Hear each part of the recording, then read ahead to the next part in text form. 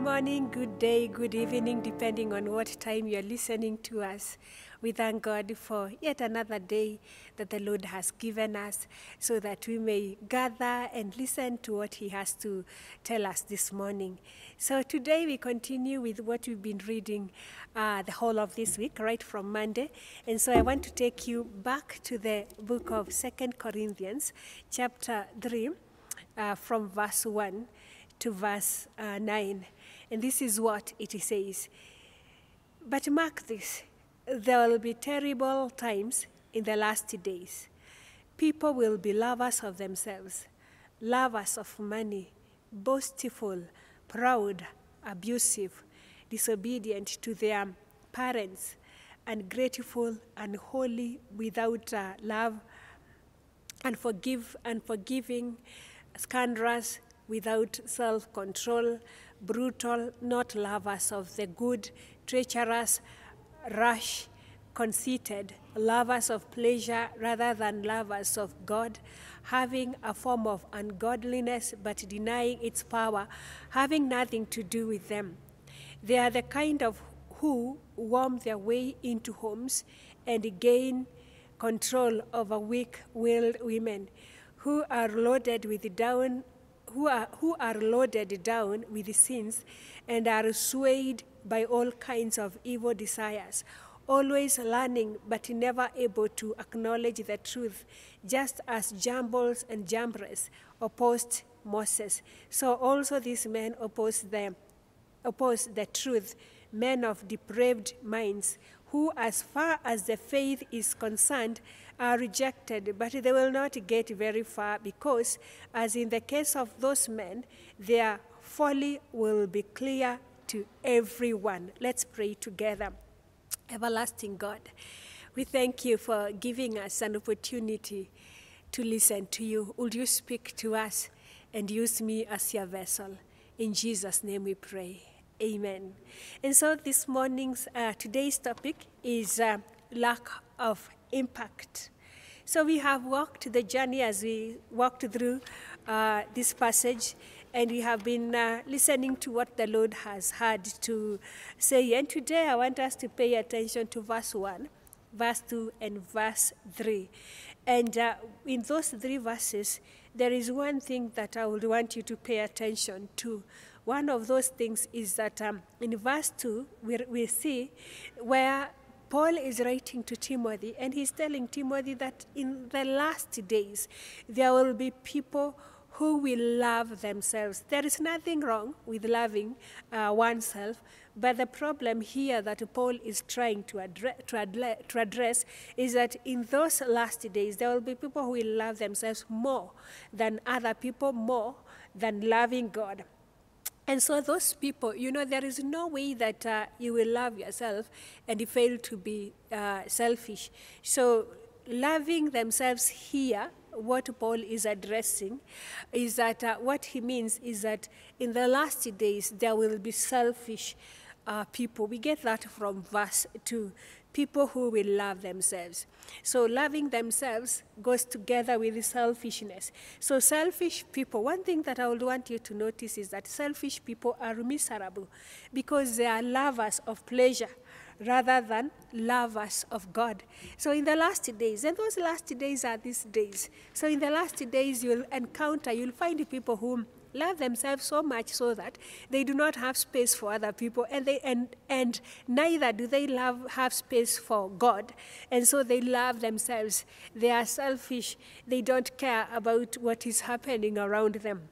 And so, uh, uh, one thing that I that uh, Paul is trying to tell us is that these people who love themselves are proud. They will be proud people. They, you know, they are proud of how they look. They are proud of what they have achieved. They are proud of their life. They are proud of uh, doing good. And uh, and secondly, in those three verses, we notice where Paul is telling Timothy that they will also be boastful. They will want anybody who cares to listen to them to know and to hear how special they are and to hear how uh, hardworking they are, which is okay. But the point here is that they are selfish uh, so much so that they do not have space to acknowledge uh, the faithfulness of God in their lives. They are so selfish such that they don't see how God has. Um, you know, the, the ability of God who has made them to achieve what they have achieved. They will be ungrateful people because remember they are, they are selfish and, and uh, first of all, they are uh, there are people who love themselves so much, such that they do not have space for any other person, and so they are selfish. And the people who are selfish, they are lovers of pleasure, they are lovers of, uh, of, uh, of, of, you know, things to do with this world. And so when that happens, then they will be boastful, they will be proud people. Then those kind of people are ungrateful they are ungrateful of other people. They don't appreciate what, what other people do. They don't appreciate what God has done in their lives. For them, it is, uh, for them, they see themselves and they believe that if it were not for them, they would not have uh, uh, achieved what they have. They believe that if it were not for themselves, they would not be you know, they, they, they, see their effort, they see their achievement, and so they are not grateful to God, they are not grateful to other people. They forget that everything they have and who they are and the far they have gone has been because of the presence of God in their lives. And so uh, Paul tells them, Paul tells Timothy that those people will be conceited, they will be conceited. And uh, uh, when you look uh, closely, you will see all those things in from verse 1 uh, to verse 3. Paul give a list of, you know, uh, I mean, he describes how those people will look like people who are, uh, are the type that love themselves and so they will be conceited. There will be people who are excessively, excessively proud of themselves. In other words, the modern word today for to describe what Paul is saying here is narcissistic. There will be uh, people who are narcissistic, people who are, who, you know, care about themselves. They no longer care about any other any other person around them. They don't care about their family. They don't care about uh, the community. And, you know, they, they are excessively proud of themselves. And so these people, uh, the type that Paul has described in these verses are greedy people, the spirit behind them, and uh, what makes them to excessively become so proud of themselves, what makes them to be boastful, what makes them to be proud, what makes them to love themselves is because they, they, they are being driven by the spirit of uh, of, of greed. And so, uh, when you look at the book of Acts, chapter 5, there is a story there about a couple whose name was Ananias and Sapphira. So, this couple, uh, eh, to, to cut the, the, long story short, is that they sold their land. And the, the reason why they had sold that land is because they wanted to give the money for the kingdom and instead of giving the whole lot, because they made everything to everybody to believe that they were going to give the whole lot of money, while we came to learn that they had hidden some, they had kept some for themselves. So those that couple lacked integrity. They pretended to be a couple of integrity while they were not. They were hypocrites. That couple was a hypocrite. They were doing it for a, a show off. They were not doing it wholeheartedly. They were not serving God wholeheartedly the, that couple is an example of people who love creation more than creator. You know, they wanted to impress everybody. They wanted everybody to see that they can also do the same. And so they were being, they were selfish because they were being led by greed. And so that couple is an example of what Paul is describing in our today's passage. And so, we who are, are listening to this uh, today, what is the Lord telling us? So, He's giving us, He's using Paul to give us example of what will happen, and, and that is what we already see in our today's generation. That is what we see in today's society. We see people who are full of pride people who are boastful, narcissism. Uh, you know, today we know very many people. The, the, you know, the percentage of people who are narcissistic is increasing every day. People who are excessively proud and full of themselves. People who no longer acknowledge that uh, what they have, what they are, the far they have gone, is by the grace of God. And so, we who are here and listening to this, the Lord is uh, calling us to come back to our senses. He's calling at us to a place where we need to acknowledge that, um, that He is the source of our life, where we need to acknowledge and realize that what we are, where we are, who we are, what we have, all that comes from God.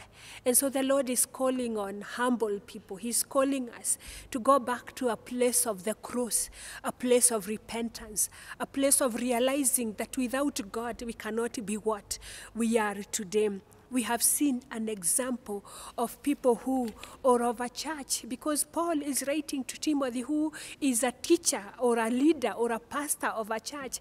And so, Paul, as Paul writes this, he's describing people who are meant, you know, this example, the, the characters, the, the things that Paul writes in those verses are things that are found in men and women who are meant to be are children of God.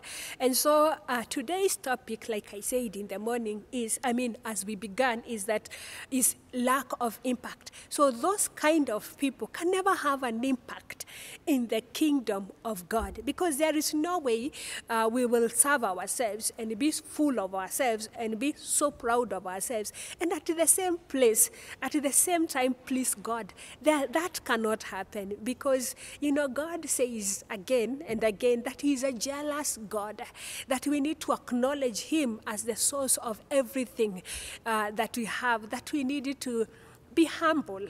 You know, one of the themes that we see throughout the Gospels is that Jesus was uh, a humble person. We see the theme of all through uh, the life of Jesus, the stories about Jesus. We see humility. We see uh, a theme of servanthood.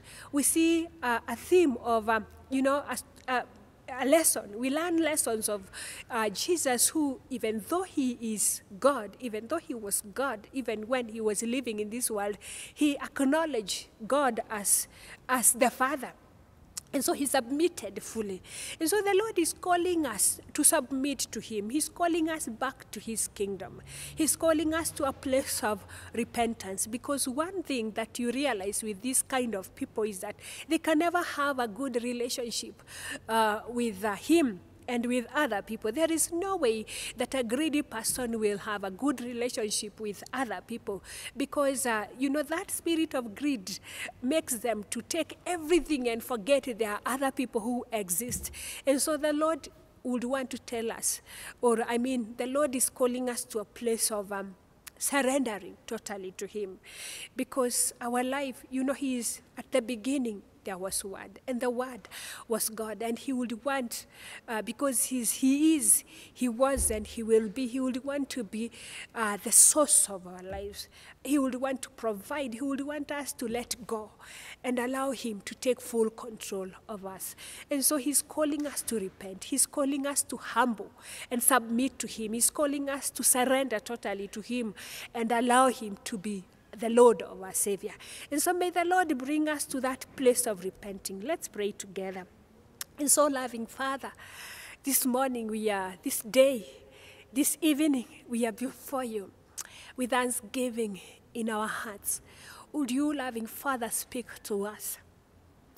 Would you, Heavenly Father, break us and mold us? Would you continue to teach us your word and even your knowledge? And so, loving Father, we worship you, we praise you for who we are. We thank you for those who are saved. We pray that you continue to strengthen them.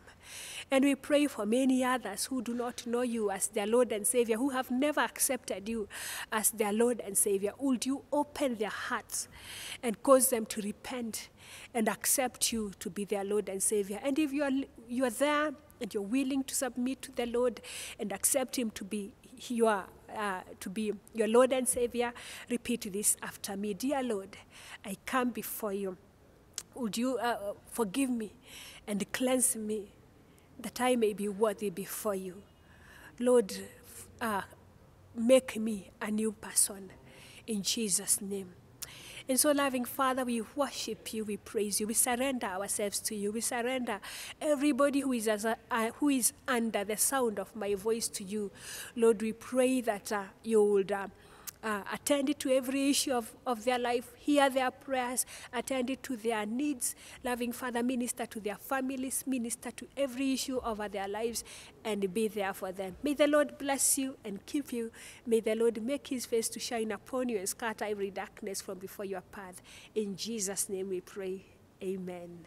If you have prayed that prayer, you can always get in touch with us and we will walk with you this journey of faith. Amen.